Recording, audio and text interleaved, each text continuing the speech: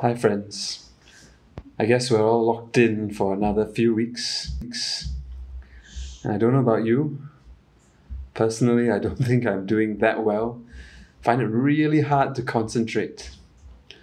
So, more than ever, I need God's Word, not just read silently in the head, but even read out loud to me by others, so that it will take my mind off things and that I'll trust that one day all this will certainly pass.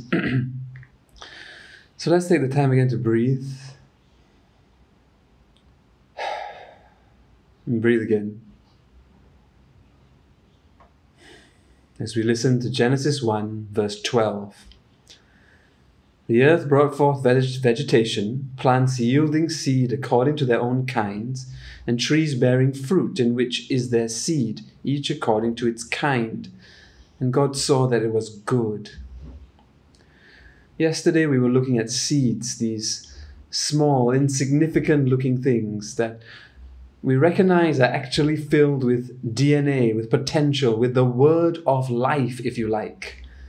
And once they find some good soil, water, and sunlight, they sprout into something huge, something amazing.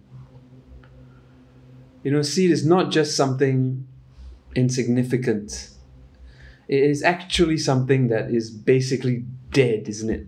Because biologically, seeds are known as being in dormancy. There's no actual life in them. You can consider them dead until it gets in the ground. You almost have to conduct a burial ceremony for the seed, and then life happens.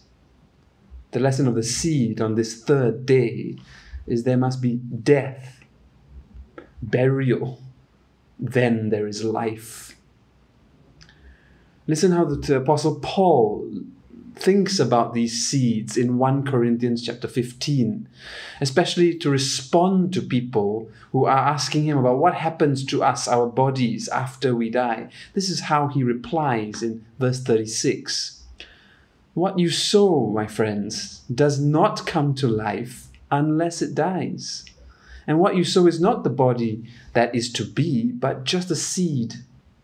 God gives it a body like He's chosen. And to each kind of seed, it has its own body, because not all flesh is the same. There is one kind for humans, another kind for animals, another for birds, for fish. There are heavenly bodies and earthly bodies, all according to its own kind. So it is, he says, with the resurrection of the dead.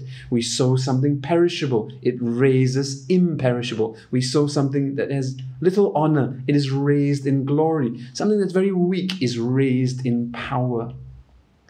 If you want to know what happens to our bodies when we die, Paul says, look at the seed.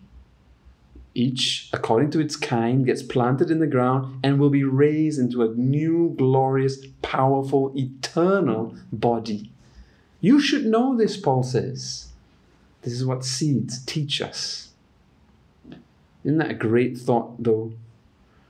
The resurrection of the body from the dead. Something promised, glorious things promised from even the very beginning. It's worth taking some time to pause and reflect on such things. Let's pray.